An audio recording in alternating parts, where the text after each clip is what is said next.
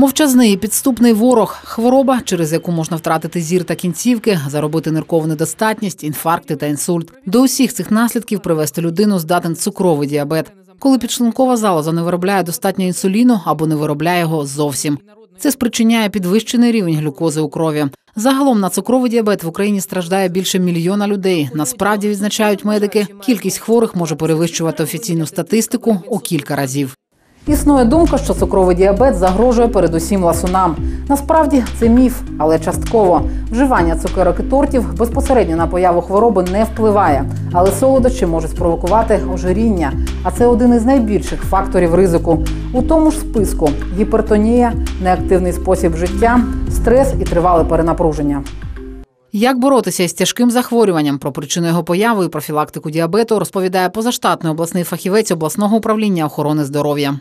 Сахарный диабет Первого типа обычно это поступают пациенты более молодого возраста и чаще всего они поступают в очень тяжелом состоянии. Такие пациенты много пьют воды, у них сильная жажда, вот, усиленное мочеиспускание и они теряют в весе. Ну и вот как бы со временем у них такой развивается характерный запах ацетона вот от самой, самого этого пациента, потому что большое количество глюкозы не успевает перерабатываться в цикле Крепса, а включаются пути неправильного обмена веществ, когда глюкоза распадается не до воды и углекислого газа, а вот именно с образованием ацетона. Поэтому вот этот вот специфический запах, и такие больные поступают в тяжелом состоянии, вот в кетоацидозе это называется, вот чаще всего вот так вот выявляется впервые выявленный диабет первого типа. Это там, где 100% нужно э, инсулинотерапия. Но сахарный диабет второго типа, тут как бы ситуация чуть другая. И таких больных у нас больше. Вот таких больных более 30 тысяч. И это группа риска все возраст после 40 лет с избыточной массой тела и с гипертонией. Вот это вот состояние, когда уже есть избыточная масса тела, гипертония и гиперхолестеринемия, называется метаболический синдром. Вот, вот эти все пациенты, которые имеют метаболический синдром, они составляют группу риска, к которым должно быть прицельное внимание и хотя бы один раз в год полное обследование с обязательной обязательным назначением анализа крови на глюкозу и глюкозотолерантного теста. То есть это когда проверяется уровень глюкозы в крови натощак и через 2 часа после нагрузки или глюкозы, или хотя бы после обычной еды через 2 часа. То, что в состоянии сделать семейные врачи и терапевты, это хотя бы раз в год назначить анализ крови на сахар. Потому что, как правило, пациенты со вторым типом диабета попадают на лечение к эндокринологу тогда, когда у них уже лет 5 диабет есть. То есть то, что они пьют больше воды, их не напрягает. То, что они там прибавили в весе, это тоже они считают, что это обычные возрастные явления. И вот когда они случайно попадают с какой-то проблемой, там, с сосудистым кризом, с простудным заболеванием, попадают в стационар там, или на обследование к участковым своим семейным врачам или терапевтам, вот тогда и выявляется диабет второго типа. В Сумській області на діабет хворіє більше 35 тисяч людей, з них близько 5 тисяч інсулінозалежні. Пациенты с сахарным диабетом первого типа, они всегда были обеспечены инсулином за счет государственной субвенции. Последние два года у нас очень напряженная ситуация в области по обеспечению инсулином. Прошлый год еще вот как бы мы так пережили вот на остатках э, позапрошлого года, первый квартал был обеспечен вот, и э, как бы ситуация была ну, вот, чуть лучше, потому что денег государ... государственной субвенции было около 78%. В этом году денег государственной субвенции было выделено всего 36% от потребности области. Вот, и поэтому остальные деньги должны были выделить э, местные бюджеты. Это районные, городские бюджеты. Местным бюджетам это было очень как бы вот непривычно выделять деньги на ту программу, которую всегда обеспечивала поддерживало государство. Поэтому вот в некоторых районах это встречало вот бурю эмоций, сопротивления, непонимания. Вот это все нужно было побороть. Э, начальник управления, я, районные эндокринологи, вот мы писали письма, обращения к районным главам администрации, городским главам, вот с просьбой выделить все-таки эти деньги из бюджета. Мы писали письма э, для разъяснения в Министерство финансов и в Министерство здравоохранения, на что мы получили вот четкий ответ, что привлекать средства местных бюджетов. Ну вот и мотивируя вот всем этим, все-таки у нас э, в области практически 8 миллионов денег на инсулины было выделено из местных бюджетов. При потребности области в 45 миллионов на этот год из государственной субвенции было выделено около 16 миллионов, вот 8 миллионов было денег местных бюджетов. И, наконец-то, вот мы дождались денег еще дополнительной субвенции, тоже около 5 миллионов денег сейчас вот поступило из государственного бюджета, тоже, которые уже распределены между всеми территориальными единицами, согласно их потребности в деньгам. Э, в деньгах, вот, и, ну, как бы сейчас вот происходит выписка рецептов на инсулин, ну, в общем-то, без, бесперебойно, вот последние буквально пару недель. До этого, конечно, мы получали массу жалоб, обращений, вот, пациентов э, с тем, что им рецепт выписан, но рецепт в аптеке не отоварен. Э, сейчас инсулин, вот у нас уже 4 года введена рецептурная система, то есть тендерных закупок инсулина у нас нет, а рецепт выписывает эндокринолог на приеме. С этим рецептом пациент идет в аптеку и получает инсулин. Аптека покупает инсулины согласно, закупает инсулины согласно заявке эндокринологов, и потом по концу месяца она получает э, из э, департамента финансов, казначейства, как там уже это правильно, в общем-то компенсацию за все э, отпущенные рецепты. Вот, поэтому когда было ограничено количество денег и э, проводились эти расчеты не своевременно, то понятное дело, что аптеки покупать за свои деньги наперед инсулины тоже не хотели. И сложилась такая ситуация, когда пациентам рецепты выписаны, но рецепты не отоварены. И вот таких жалоб у нас в этом году было масса. Вот мы отписывали там как могли эти жалобы. Мы привлекали всех производителей инсулинов, просили у них гуманитарную помощь, то есть просили поучаствовать, вот как-то поддержать нас и помочь. У нас более полтора миллиона, э, наверное, вот гривен только гуманитарной помощи было в этом году от разных представителей инсулинов, абсолютно-абсолютно от разных, потому что вот как бы один вид инсулина роли не играет, инсулинов очень много, и каждому конкретному пациенту подходит именно тот инсулин и та дозировка, которую ему подобрали в условиях стационара, и поэтому что-то там заменить другим инсулином более дешевым, там отеч... импортный заменить на отечественный, это не представляется возможным практически, ну такого не бывает, потому что у каждого идет индивидуальный подбор как самого инсулина, так и дозы дозы инсулина. Вот. На следующий год, в общем-то, ситуация пока тоже вот ничего хорошего не обещает. Денег выделено на следующий год снова 33% от потребности. И э, как бы речь идет о том, что, конечно, ну вот еще какие-то дополнительные деньги будут. Вот вносятся предложения, чтобы все-таки полностью государство обеспечивало пациентов больных сахарным диабетом э, 100% всеми необходимыми видами инсулинов, но пока вот то, что имеем на сегодняшний день, это снова 33%, и написаны нами письма уже начальникам управления, главой областной администрации, вот, главам всех районных администраций, городских администраций с просьбой заложить в расходную часть бюджета на следующий год обязательно эти расходы на препараты инсулина до обеспечения стопроцентной потребности, потому что это жизненно важный препарат, и потребность тут сократить сократить нельзя. Тут нельзя уменьшить дозу, нельзя подождать несколько дней без препарата. Это то, что нужно каждый день. Для пацієнтів з другим типом передбачена програма Доступні ліки, яка діє вже два роки.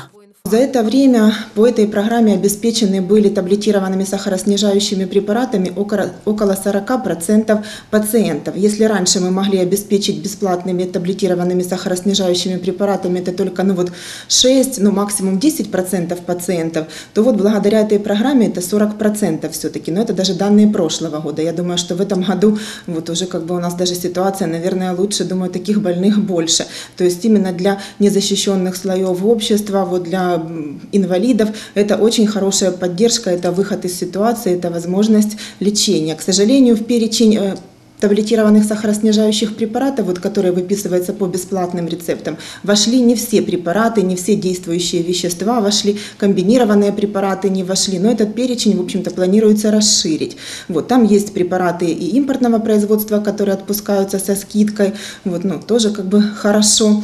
Вот, поэтому над этим э, работает там группа экспертов МОЗе для того, чтобы расширить этот перечень препаратов и вот таким образом помочь нашим пациентам с сахарным диабетом второго типа типа добиться компенсации лечения, потому что сахарный диабет – это, в общем-то, болезнь на всю жизнь, и от того, насколько пациенты будут компенсированы, вот, зависит их качество жизни, не только продолжительность жизни, но и качество жизни, потому что у пациентов с сахарным диабетом риск сердечно-сосудистых заболеваний в 3-4 раза выше, чем в общей популяции. Вот, смертность у них в 3-4 раза выше, чем э, у людей в общей популяции. Поэтому это пациенты, которые нуждаются в постоянном лечении, наблюдении, обследовании, контроле, вот, э, лечении и обследовании полном вот, в условиях стационара эндокринологического или ну, хотя бы терапевтического, там уже как, как получается там у жителей районов.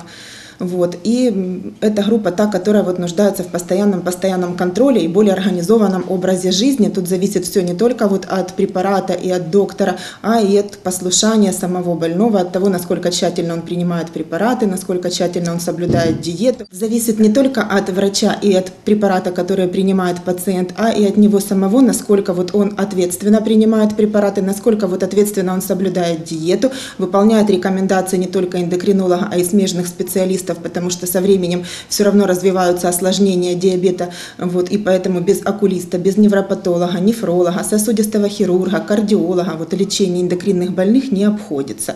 Это вот, ну, в общем-то, комплексное дорогостоящее лечение, и если государство на себя берет вот, роль обеспечения хотя бы таблетированными сахароснижающими препаратами, ну и вот нашим пациентам еще подходят тоже препараты для лечения гипертонической болезни с возрастом, практически у всех она есть, то, в общем-то, это хорошо хорошо, это вот неплохая помощь для наших пациентов. Нічого не болить, але дає серйозні ускладнення. Так говорять про діабет ті, хто став жертвою цукрової хвороби. Вадим і Людмила хворіють вже 8 років. Виявили случайно, просто здав аналіз на цукор і виявили, що там була повишена норма. Перездав, воно підтвердилось, і то так вийшло. Я инсулинозависимая уже 8 лет. Инсулин это, конечно, хорошая штука, но без него жить нельзя. Каждому диабетику подбирается свой инсулин, свои дозы, которые менять нельзя, жить без них нельзя. Я считаю, с нашей пенсии, поскольку я инвалид, то должно обеспечивать этим государство, потому что на 1452 ти його просто не купиш. Після переїзду частини відділень, зокрема ендокринологічного, на вулицю Ковпака, умови значно покращилися, радіють пацієнти. Людмила вже вдруге проходить лікування на новому місці. Условия хорошие, очень тепло, все уютно, все комфортно. Персонал очень хороший. Хотелось бы комплексного лечения в стационаре. И, конечно же, так как мы диабетики, то развиваются разные патологии, и хотелось бы еще лечение в санаторії.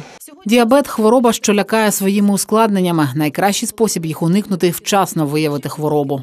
Количество больных, э, распространенность диабета, вот заболеваемость, то есть впервые выявленные за год пациенты, у нас чуть выше, чем средняя цифра по Украине. Но есть области, у которых гораздо выше, есть области, у которых ниже. Но я не считаю, что эта цифра, раз она у нас, допустим, заболеваемость, это хорошая выявляемость. Раз она у нас выше, значит, у нас э, есть все возможности для того, чтобы это выявлять, потому что как показывает статистика, то количество пациентов больных сахарным диабетом второго типа э, достоверно в три раза больше, чем показывает официальная статистика, потому что, так как я уже говорила, что до пяти лет люди живут и не знают о своей болезни. Поэтому, если мы хорошо выявляем, то, конечно, выявляемость, вот заболеваемость, вот этот показатель будет высоким. А у нас практически в каждом районе есть эндокринологи, у нас только два района без эндокринолога. Вот. У нас во всех городских поликлиниках есть эндокринологи, то есть есть кому этим заниматься. Поэтому вот эти показатели у нас, в общем-то, ну, всегда были высокие. Вот. Что касается другой эндокринной патологии, там вот ожирение, там патологии щитовидной железы, то тоже, в общем-то, она у нас выявляется на достаточно хорошем уровне, потому что во всех районах есть у нас аппараты УЗИ, все аппараты УЗИ имеют датчики для щитовидной железы, есть у нас высококвалифицированный доктор, который проводит пункционные биопсии вот узлов щитовидной железы, поэтому вот все узлы у нас пунктированы, у нас выявляется большое количество раков щитовидной железы, которые сразу же лечатся, у нас всегда показатель по узловым зубам и по ракам щитовидной железы тоже был в два раза больше, чем украинские показатели. Вот, потому что есть кому выявлять, есть кому пунктировать вовремя, делать эти все исследования. Ну и также у нас и хирургическое отделение областной больницы, и онкодиспансер у нас делают эти операции на щитовидной железе. Поэтому, когда у меня в Киеве, в Харькове спрашивают там на отчетах, почему вы нам мало направили пациентов на оперативное лечение, то я им как бы с гордостью отвечаю, что пункции у нас и оперировать. Есть кому делать. У нас доктора с более чем 20-летним стажем, вот, кандидаты наук имеют высшие категории, вот что в онкодиспансере, что в хирургическом отделении областной больницы и точно так же доктор вот узист, который делает пункционные биопсии. Поэтому как бы вот они, они мне надежные помощники, я ими всегда горжусь и всегда с удовольствием об этом говорю вот на всех своих там вот отчетах, собраниях. Вот никто мне не может тогда ничего ответить, почему не направлены в Киев, Харьков, потому что нет такой необходимости. Людям проще прооперироваться вот там, где они живут, чем ехать, ну, в общем-то, в другой город. Почесне місце в кабінеті завідуючої займає незвична експозиція світлин. На них пацієнти, що лікували ендокринне безпліддя і змогли народити здорових дітей. Сейчас сюда добавляются фотографии наших пациенток с сахарным диабетом, которые тоже успешно забеременели и родили вот здоровых, хороших деток. Это вот такая любимая тема, позитивная. Вот, если с сахарным диабетом мы говорим, что там все время прогрессируют осложнения, больным нашим становится не лучше, хотя бы не хуже, то это вот такое солнышко, это радость, это очень приятно, когда приходят на прием беременные и вот или те пары, которые обследуются, планируют э, завести ребенка, вот и у них все это как бы удачно складывается и все получается, потому что к эндокринологии, как все думают, относится не только сахарный диабет, эндокринных органов много, сюда относятся и половые железы, и гипофиз, и щитовидная железа, и надпочечники, поэтому вот таких, э, это вот, ну, тоже как бы мы всегда обследуем, все эм, Гинекологи женских консультаций направляют нам беременных на консультации. Это уже за многие годы вот как бы отработано тоже. Им обязательно всем делается и глюкозотолерантный тест вот на выявление скрытого диабета, такого так называемого гестационного диабета. Ну и на обнаружение другой эндокринной патологии, вот в частности патологии щитовидной железы, которая влияет при беременности на умственное, на физическое развитие плода, на вынашивание беременности. Поэтому обследуем, э, профилактику проводим им йодом, селеном, если надо, если выявляется патология, значит мы ее попутно лечим, корректируем там избыточный набор веса, если у беременных это происходит. Ну, в общем-то, тоже вот как бы мы неразрывно работаем не только с невропатологами, кардиологами, те, которые лечат осложнения у пациентов с сахарным диабетом, но с гинекологами, андрологами тоже, которые вот занимаются проблемой бесплодия. Диабет беременных, или еще он называется гестационный диабет, это любое нарушение толерантности к углеводам, которое возникло во время беременности. То есть хотя бы один раз во время беременности повышенный сахар крови у женщины беременной уже считается гестационным диабетом. То есть это не такая какая-то вот болезнь, которая нуждается в лечении, это состояние, которое скорее нуждается в наблюдении, чтобы не допустить развития болезни. Вот, выявили уже такую предрасположенность, что вот у этой женщины может быть повышенный сахар, значит, за ней более тщательное наблюдение. Во-первых, ей назначается там низкоуглеводная диета. Во-вторых, тщательно следится за ее массой тела. Э, анализы крови и мочи на глюкозу проводятся ей более регулярно и часто, не так, как другим здоровым женщинам беременным. Вот, но и более тщательно наблюдают за плодом. То есть там в третьем триместре УЗИ делается каждые 10 дней, делается мониторинг вот УЗИ именно плода, чтобы не допустить развития фетопатии, там, патологии плаценты, многоводия вот, и ну, избыточной массы тела вот у плода. Гестационный диабет – это вот состояние, то, которое бывает при беременности. То есть, как правило, он должен после родов, все это должно быть компенсировано. Но если у женщины есть в анамнезе неудачные беременности, там самопроизвольные аборты, мертворождение, пороки развития, есть другие дети от других беременностей, у которых вес при рождении был больше 4 килограмм. Если сама женщина страдает избыточным весом, если у нее в семье есть вот родственники с сахарным диабетом, то это вот уже конкретно группа риска по развитию сахарного диабета. У таких женщин, как правило, лет через 10, это диабет второго типа, ну, развивается все равно. И вот, вот эти вот все параметры, которые я назвала, они выясняются при первом посещении женщиной гинеколога вот, при постановке на учет. И если вот эти вот все пункты есть, то глюкозотолерантный тест назначается таким женщинам при постановке на учет. Не в 25 недель, как всем. Всем назначается для скрининга в 25 недель. А вот тем, у кого есть вот такие факторы риска, он назначается раньше, чтобы более на ранних сроках вот это все выявить и предупредить. Здорове харчування, достатня фізична активність, щорічні медичні огляди. Ось основні настанови лікарів. Хочется, чтобы пациенты были внимательны прежде всего к себе, к своему здоровью, потому что никакой доктор, никакая волшебная таблетка их не спасет и не вылечит, если не будет понимания необходимости вот этого всего от самих пациентов. Вот. Те, которые вот что-то услышали там вот про себя, вот, что они попали в какую-то группу риска там по весу, по давлению или там по повышению холестерина в крови, тоже пускай вот там задумаются и вовремя придут и пройдут обследование. Вот, поэтому это зависит от каждого человека, от его образа жизни, от физической активности, от правильного питания и от своевременного вот обследования и лечения всех сопутствующих заболеваний. А у нас все, в общем-то, эндокринологи доступны. В поликлинике областной больницы у нас 5 человек каждый день сидит э, на приеме докторов-эндокринологов, которые тоже у нас с высшими категориями и с большим стажем работы. Вот все городские поликлиники тоже имеют эндокринологов, поэтому такой вот проблемы с выявлением именно эндокринной патологии или чтобы это было негде полечить, вовремя выявить там и адекватно проконсультировать, я думаю, что у нас не должно существовать. У меня есть прием вот как областного специалиста, это каждый вторник с 10 до часу. Я принимаю всех э, жителей районов области, городских жителей, ну, в общем-то, всех, кому нужна консультация вот как бы областного эндокринолога. То есть всегда, пожалуйста, и во все остальные дни тоже я вот с 8 до 4 я всегда на работе, и всегда я готова консультировать, смотреть, помогать, как своим докторам готова помогать, так вот и, в общем-то, всем больным, кто в этом нуждается.